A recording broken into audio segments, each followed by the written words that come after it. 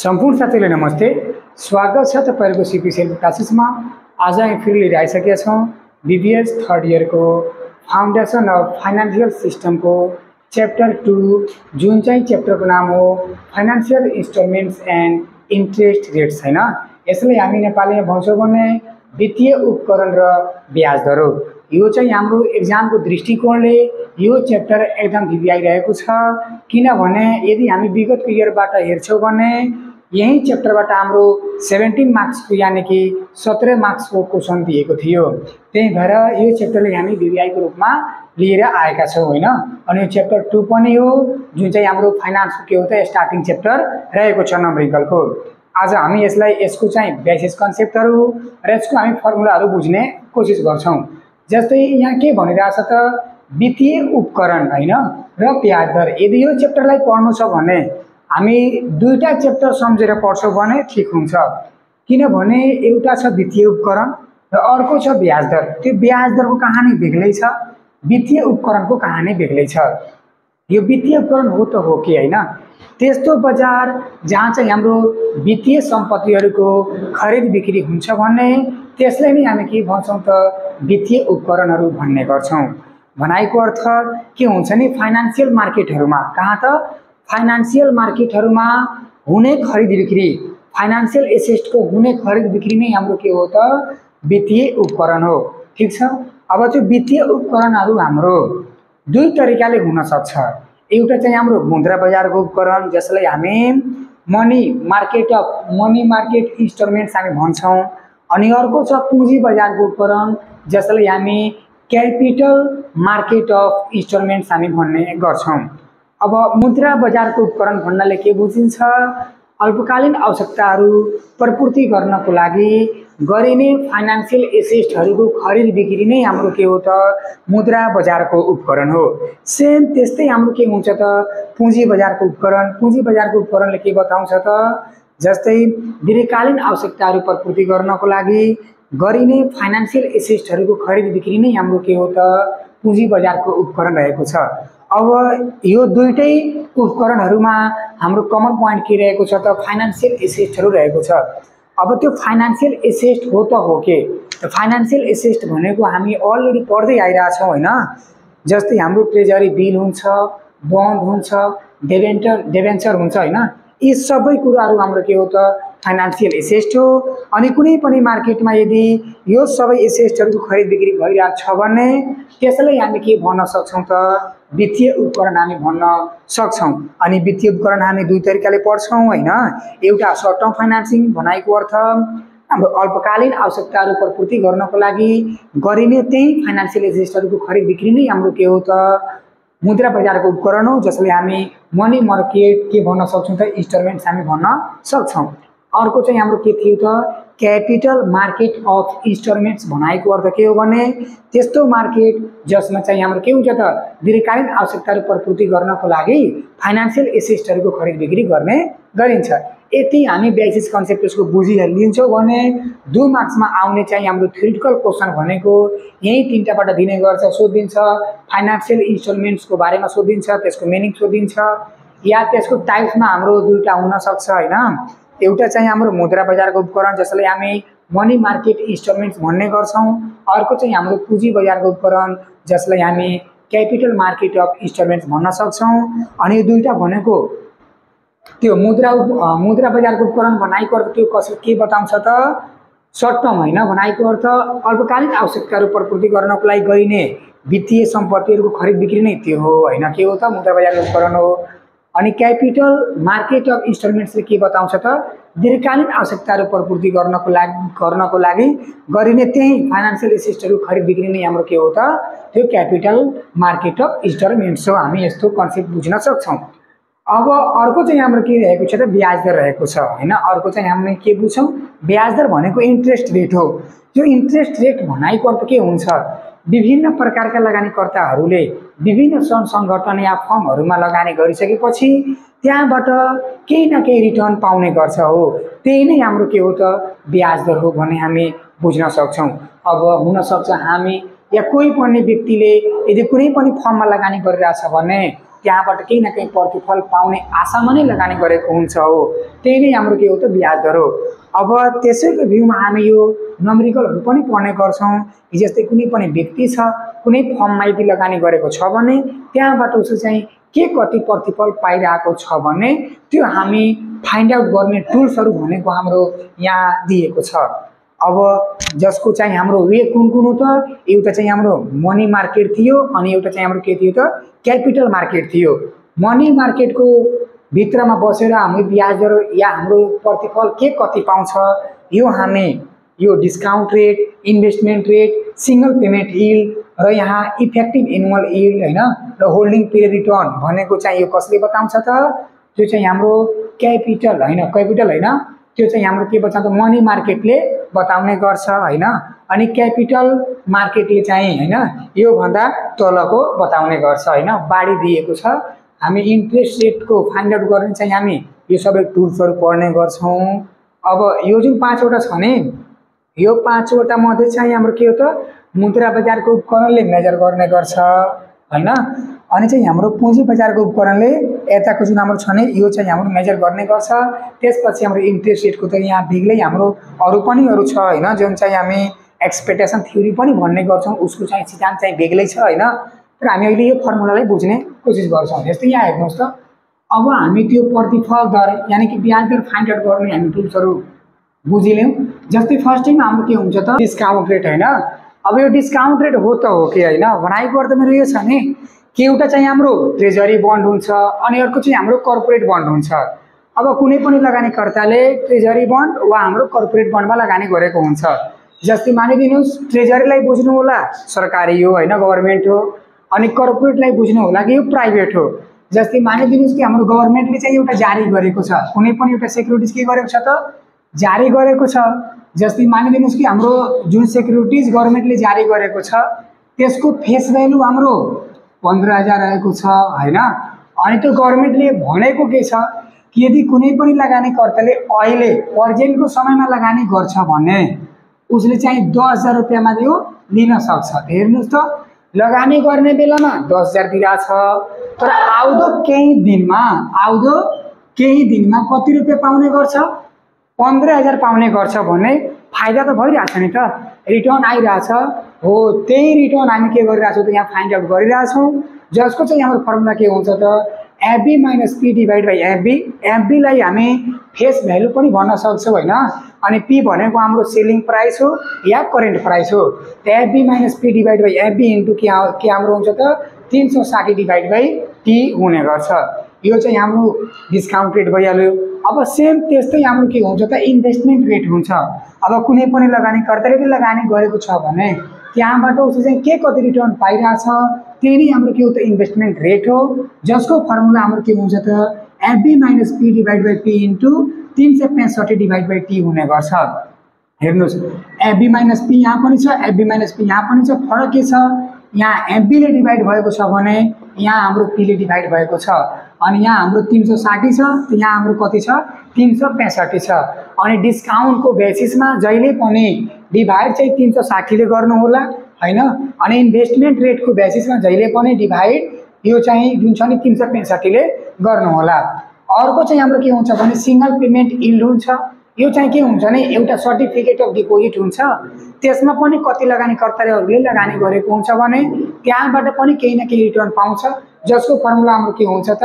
Investment rate into तिन सय साठी डिभाइड बाई तिन सय पैँसठी हुने गर्छ। अर्को चाहिँ अब हामी के पढ्छौँ त? इफेक्टिभ एनुअल इल पढ्ने गर्छौँ। यो चाहिँ केले बताउँछ त? जस्तै हामी जति रिटर्नहरू कमायो जति रिटर्नहरू हामी प्राप्त गऱ्यो त्यति रिटर्नहरूमध्ये कतिको चाहिँ यो चाहिँ प्रभावकारिता छ? कतिको चाहिँ इफेक्टिभ छ त? जसको फर्मुला हाम्रो के हुन्छ त? इफेक्टिभ एनुअल इल्ड जसको फर्मुला हाम्रो one plus investment rate into T divide by तिन सय पैँसठी अनि होलको पावर हाम्रो कति हुन्छ त? तिन सय पैँसठी divide by T minus one हुने गर्छ। अरूमा हामी भन्छौँ भने वान प्लस यदि हामी यदि एसपिवाई फाइन्ड आउट गरेको छौँ भने एसपिवाई डिभाइड बाई तिन सय साठी अनि यसको होल पावर हाम्रो के हुन्छ त तिन सय पैँसठी divide by T minus one हुने गर्छ। यो भयो हाम्रो इफेक्टिभ इन्भल इल्डको फर्मुला। अर्को चाहिँ हाम्रो फर्मुलाको बाटो के रहेको छ त? होल्डिङ पिरियड रिटर्न रहेको छ। यो होल्डिङ पिरियड रिटर्न हो त हो के? जस्तै मानिदिनुहोस् कि हामी अहिले नै कुनै सेयरमा लगानी गरिरहेछौँ भने अनि हाम्रो सेयर परेको छ भने हामी त्यो सेयरलाई अहिले हामी मार्केटमा सेल गर्दैन। आउँदो केही दिनमा हामी के गर्ने गर्छौँ त सेल गरेर त्यहाँबाट हामी रिटर्न कमाउने गर्छौँ। भनाइको अर्थ मेरो यो छ कि कुनै पनि लगानीकर्ताले कुनै सेयर या कुनै पनि सेक्युरिटीमा लगानी गरेको छ भने त्यसलाई उसले चाहिँ होल्ड गरेर राख्छ। अनि आउँदो केही दिनमा दुई महिना चार महिना या दुई साल या तिन सालमा के गर्छ त बेचेर अनि त्यहाँबाट रिटर्न कमाउने गर्छ। त्यहाँबाट केही न केही फाइदा कमाउँछ भन्ने हो। त्यही नै हाम्रो के हो त होल्डिङ पिरियड रिटर्न पिरियडको मतलब के हुन्छ अवधि अनि होल्डिङको मतलब होल्ड गरेर राखेको। कति समयपछि होल्ड गरेर राखेको हुन्छ अनि त्यसपछि बेचेर त्यहाँबाट केही न केही रिटर्न प्राप्त गर्छ भने त्यही नै हाम्रो के हो त होल्डिङ पिरियड रिटर्न हो। जसको फर्मुला हाम्रो के हुन्छ त ending price minus beginning price divide by beginning price हुने गर्छ। यहाँ तपाईँहरू जस्ट फर्मुला बुझ्नुहोस् होइन। हामी हिसाब गराउने बेलामा पनि हामी हिसाब एकदम सिम्पल तरिकाले हामी गर्ने गर्छौँ। अर्को चाहिँ हाम्रो फर्मुलाको बाटो के रहेको छ यहाँबाट अब जे फर्मुला आउँछ त्यो भनेको क्यापिटल मार्केट इन्स्टलमेन्ट्सको मेजर गर्ने फर्मुला रहेको छ। अनि यो जुन हाम्रो पाँचवटा फर्मुला छ यसले चाहिँ हाम्रो मुद्रा बजारको उपकरणले मापन गर्ने गर्छ होइन? अब हामी अर्को फर्मुला के पढ्छौँ? नेट एसेस्ट भ्यालु यो नेट एसेस्ट भ्यालु हो त हो के? यो चाहिँ हाम्रो एक किताब प्राइसको हाम्रो भ्यालु कति हुन्छ त? त्यही नै हाम्रो के हो त? नेट एसेस्ट भ्यालु रहेको छ। जसको फर्मुला हाम्रो के हुन्छ? Total asset minus total liabilities divide by number of outstanding share हुने गर्छ। अनि हेर्नुहोस् कहिलेकाहीँ हाम्रो total asset minus total liabilities नदिएर नेट वर्थ पनि दिन्छ। नेट वर्थको अर्थ के बुझ्नु होला? कि टोटल एसेस्ट र टोटल लाइबिलिटिजको अन्तर नै हाम्रो के हो त? नेट वर्थ हो। किनभने यहाँ माइनस गरेर छ भने अन्तर भइहाल्छ नि minus total asset minus total liabilities गरेर नै यो आएको छ नेटवर्क अनि हाम्रो नम्बर अफ आउट स्ट्यान्डिङको सर्ट फर्म मैले लेखिदिएछु एनओएस जसले हामी number of outstanding share पनि हामी भन्न सक्छौँ। अनि यो जहिले पनि एक किता सेयरको प्राइस हाम्रो मार्केटमा कति रहेको छ भन्ने यो कुरा फाइन्ड आउट गर्ने गर्छ जसको नाम चाहिँ के हो त? नेट एसेस्ट भ्यालु रहेको छ। अर्को चाहिँ हाम्रो फर्मुलाको बाटो के रहेको छ? अफर प्राइस पर सेयर यो अफर प्राइस पर सेयर यस्तो बुझ्नुहोस् कि लोड फिस र एनइभीको रिलेसनमा जहिले पनि हामी के फाइन्ड आउट गर्ने गर्छौँ त? अफर प्राइस पर सेयर हामी फाइन्ड गर्ने गर्छौँ। जसको हाम्रो फर्मुला के हुन्छ? NEV divide by one minus load fee हुने गर्छ। अब अर्को फर्मुला हाम्रो के रहेको छ त? डिस्काउन्ट पर्सेन्ट वा प्रिमियम पर्सेन्ट वा मार्केट प्राइस होइन? यो तिनवटा मध्ये कुनै क्वेसन चाहिँ हाम्रो सर्ट क्वेसनमा दिन सक्छ। यहाँ हेर्नुहोस् डिस्काउन्ट पर्सेन्ट भन्छ भने NEV minus MP divide by NEV गर्नु होला अनि पर्सेन्टमा कन्भर्ट गर्नको लागि हामी के गर्छौँ त? हन्ड्रेडले मल्टिप्लाई गर्ने गर्छौँ। प्रिमियम पर्सेन्ट पनि हामी प्रिमियम पर्सेन्ट यदि निकाल्नु छ भने MP minus NAB divide by NAB गर्नु होला अनि पर्सेन्टमा कन्भर्ट गर्नको लागि के गर्नु होला त हन्ड्रेडले मल्टिप्लाई गरिदिनु होला। अर्को यदि मानिदिनुहोस् एमपी सोधिहाल्यो भने यदि हामीसँग डिस्काउन्ट हुन्छ भने घटाएर गुना गराइदिनु होला एनएबीमा यदि हामीसँग प्रिमियम हुन्छ भने प्रिमियमलाई जोडेर गुना गराउनु होला एनएबीमा भनाइको अर्थ एमपीको formula NAB into one minus discount percent हुन्छ। अनि अर्को चाहिँ हाम्रो एमपीको formula NAB into one plus premium percent हुने गर्छ। यो हाम्रो भयो एमपीको फर्मुला होइन? अनि यहाँबाट हाम्रो स्टार्ट भइरहेको छ मस्ट भिभिआई फर्मुला जुन चाहिँ हाम्रो फाइनल एक्जामको दृष्टिकोणले एकदम भिभिआई रहेको छ। यदि पन्ध्र मार्क्समा यदि आउँछ भने हाम्रो यही हिसाबबाट दिने गर्छ होइन? यो अब यसको फर्मुला हाम्रो के हुन्छ त? नोमिनल इन्ट्रेस्ट रेट होइन? यसको फर्मुला हाम्रो के हुन्छ? के एसटी प्लस आइपी यो के एस्ट्रिक भनेको रियल रिस्क फ्री रेट हो भनेको त यस्तो रिटर्न जसमा चाहिँ हाम्रो जोखिम चाहिँ के रहेको छ त शून्य रहेको छ जोखिम चाहिँ फ्री रहेको छ। त्यही नै हाम्रो के हो त के एस्ट्रिक हो प्लस आइपी भनेको इन्फ्लेसन प्रिमियम हो होइन? अब यो इन्फ्लेसन प्रिमियम पनि हामीलाई निकाल्नको लागि दिन्छ ठिक छ? यो इन्फ्लेसन प्रिमियमलाई हामी एभरेज अफ इन्फ्लेसन रेट पनि हामी भन्न सक्छौँ। जसको फर्मुला हाम्रो के हुन्छ त? I one plus I two plus I three plus I four dot dot dot जहाँ पनि हुनसक्छ जस्तै मानिदिनुहोस् कि हामीलाई यदि आइपी टेन निकाल्नु छ भने I one plus I two plus I three plus I four गर्छौँ टेनसम्म जान्छौँ अनि टेनले हामी डिभाइड गर्ने गर्छौँ। त्यो चाहिँ हाम्रो के हुन्छ त आइपी हुने गर्छ। यो कसरी हुन्छ के हुँदैन होइन? हामी फर्मुलामा फर्मुलामा यति हामी बुझेर अनि हिसाब गर्छौँ भने एकदम मजाले समझ आउँछ कहीँ पनि समस्या हुँदैन। अर्को चाहिँ हाम्रो यो मस्ट भिभी आइरहेको छ इल्ड अन ट्रेजरी बन्ड र इल्ड अन कर्पोरेट बन्ड। यो इल्डको अर्को नाम चाहिँ हाम्रो इन्ट्रेस्ट पनि हो होइन? यो पनि ध्यानमा राख्नु होला यदि इन्ट्रेस्ट अन ट्रेजरी बन्ड दिइहाल्छ भने वा इन्ट्रेस्ट अन कर्पोरेट बन्ड दिन्छ भने त्यसको फर्मुला हाम्रो के हुन्छ? हेर्नुहोस् यहाँ। इल्ड अन ट्रेजरी बन्ड दिन्छ भने आज लगानी गरेको छ भने जिरो अनि इन्ट्रेस्टको सङ्केत केले हुन्छ? अनि ट्रेजरी सेक्युरिटिज या ट्रेजरी बन्डमा लगानी गरेको छ भने त्यसलाई टीले सङ्केत गर्नु होला। अनि यो भनेको गभर्मेन्ट सेक्टर हो त्यही भएर यसमा हाम्रो डिआरपीले एलआरपी हुँदैन मात्र के हुन्छ त? KST plus inflation premium plus MRP हुन्छ। एमआरपीको फुल फर्म हाम्रो के हुन्छ त? मेच्युरिटी रिस्क प्रिमियम हुन्छ होइन? अब यो मेच्युरिटी रिस्क प्रिमियम के हो? डिफल्ट रिस्क प्रिमियम के हो लिक्विडिटी रिस्क प्रिमियम के हो यो सबै हिसाब गर्ने बेलामा एकदम तपाईँको त्यहाँ मिनिङमा बुझाइ नै दिन्छु होइन। अहिले यहाँ जस्ट फर्मुला बुझिदिनुहोस् मात्र भइ नै हाल्छ। बाँकी हामी हिसाब गर्ने बेलामा पनि हामी त्यहाँ विस्तृत तरिकाले लाइन वाइज लाइन हामी बुझेर हिसाबलाई गर्छौँ भने हाम्रो चाहिँ के हुन्छ त बेटर हुन्छ होइन। अब अर्को चाहिँ हाम्रो के हुन्छ त इल्ड अन कर्पोरेट बन्ड जसलाई हामी ओके कर्पोरेट बन्ड छ भने सी हामी भन्न सक्छौँ। ओके हामी याद गर्ने एउटा तरिका ओके ओके होइन। तर रियलमा यो भनेको जिरो हो ठिक छ? आज लगानी गऱ्यो भने जिरो। इन्ट्रेस्टको सङ्केत के हुन्छ? अनि कर्पोरेटको हाम्रो सी हुन्छ। जसको फर्मुला के हुन्छ? KST plus IP plus MRP plus DRP plus LRP हुन्छ। हेर्नुहोस् त। यो चाहिँ हाम्रो ट्रेजरी बन्डको फर्मुला नै यो KST KST IP plus IP MRP plus MRP फरक के छ। यो दुईवटा चाहिँ एक्स्ट्रा रहेको छ डिआरपी र एलआरपी डिफल्ट रिस्क प्रिमियम र हाम्रो लिक्विडिटी रिस्क प्रिमियम चाहिँ के रहेको छ त एउटा एक्स्ट्रा रहेको छ कसमा त कर्पोरेट सेक्युरिटिजमा या कर्पोरेट बन्डमा अनि अर्को चाहिँ मस्ट मस्ट भिआई फर्मुला चाहिँ के रहेको छ त? एक्सपेक्टेसन थ्योरी रहेको जस जसलाई हामी नेपालीमा के भन्न सक्छौँ?